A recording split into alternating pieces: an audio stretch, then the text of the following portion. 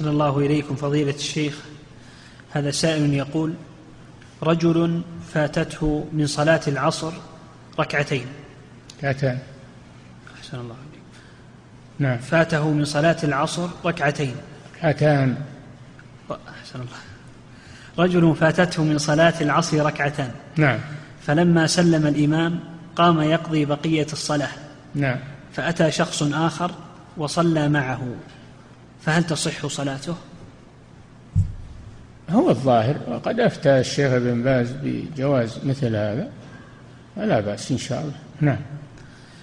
إعداد مشروع كبار العلماء بالكويت أعزها الله بالتوحيد والسنة.